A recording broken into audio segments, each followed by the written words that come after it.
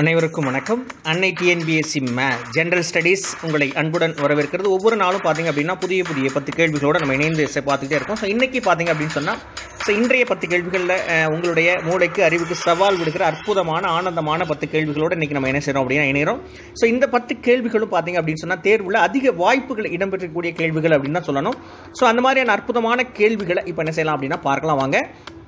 முதல் பத்து கேள்விகளை இப்போ நம்ம கேள்விகளை பார்ப்போம். முதல் கேள்வி என்ன அப்படின்னு பார்த்தீங்கன்னா எந்த விலங்கை பாதுகாக்க ஐந்தாண்டு திட்டம் அறிமுகப்படுத்தப்பட்டது? இரண்டாவது கேள்வி இயற்கை வாயு என்பது. மூன்றாவது கேள்வி மானஸ் வன உயிரின சரணாலயம் எந்த விலங்கை பாதுகாக்க அமைக்கப்பட்டுள்ளது? நான்காவது கேள்வி நைட்ரஜன் வெளியேற்றுதல் என ஈடுபடும் நுண்ணுயிர் என்ன அப்படின்னு இருக்காங்க. ஐந்தாவது கேள்வி உருளைக்கிழங்கு ஆராய்ச்சி நிலையம் தமிழ்நாட்டில் அமைந்துள்ள இடம். தமிழக பட்ஜெட்டை அதிக முறை தாக்கல் செய்தவர் யார்? மொழிவாரி மாநிலம் உருவாக முதன் முதலில் உருவாக்கப்பட்ட கமிட்டி எது அப்படின்னு கேட்டுக்கிறாங்க. எட்டாவது கேள்வி சரஸ்வதி சம்மன் விருது ரெண்டாயிரத்தி பத்தொன்பதில் யாருக்கு வழங்கப்பட்டது? ஒன்பதாவது கேள்வி மாற்றத்திற்கான சாதனையாளர் விருது இரண்டாயிரத்தி பத்தொன்பது யாருக்கு வழங்கப்பட்டது? பத்தாவது கேள்வி சுற்றுச்சூழல் ஆர்வலர்களுக்கான நோபல் பரிசு என அழைக்கப்படும் டைலர் பரிசு பெற்றவர் யார்? அப்படின்னு கேட்டுக்கிறாங்க. ஸோ இந்த பத்து கேள்விகளும் இப்போ நம்ம என்ன செய்யலாம் அப்படின்னு சொன்னால் நான் சொல்லிட்டேன். உங்களோட பதில்களை நீங்கள் குறிச்சிருப்பீங்க அப்படின்னு நினைக்கிறேன். ஸோ மீண்டும் இப்போ என்ன செய்யலாம் அப்படின்னா விடைகளுக்கான பதில்களை பார்க்கலாம். வாங்க.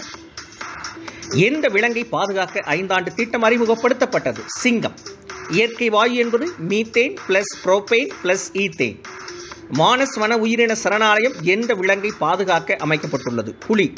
நைட்ரஜன் வெளியேற்றுதல் என ஈடுபடும் நைட்ரஜன் வெளியேற்றுதலில் ஈடுபடும் நுண்ணுயிர் சூடோமோனஸ் உருளைக்கிழங்கு ஆராய்ச்சி நிலையம் தமிழ்நாட்டில் அமைந்துள்ள இடம் ஊட்டி.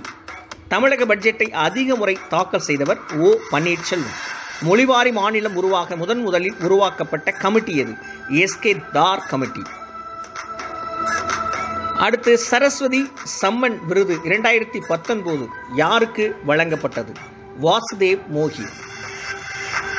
மாற்றத்திற்கான சாதனையாளர் விருது ரெண்டாயிரத்தி பத்தொன்பது ஹேம்நாத் சோரன்.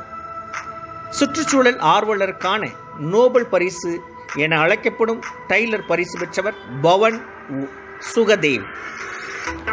இன்றைய பத்து கேள்விகளிலும் சரியாக பதிலளித்து பத்துக்கு பெற்று பெற்ற அந்த பயிற்சியாளருக்கு நம்முடைய மனமார்ந்த வாழ்த்துக்கள். தொடர்ந்து முயற்சி செய்யுங்கள் பயிற்சி செய்யுங்கள். நீங்களும் பத்துக்கு பத்து பெற நிச்சயமாக பெறுவீர்கள் என்ற நம்பிக்கையோடு தொடர் முயற்சியில் ஈடுபடுங்கள். இந்த இனிய டிஎன்பிஎஸ் ஜெனரல் ஸ்டடீஸ் வகுப்பை இனிதை நிறைவு செய்ய மீண்டும் இதே ஒரு புதிய பத்து கேள்விகளோடு அடுத்த வகுப்பில் உங்களை சந்திக்கும் வரை உங்களிடமிருந்து விடைபெறுவது நான் காசி. நீங்கள் பயிற்சியாளர்கள். நன்றி வணக்கம்.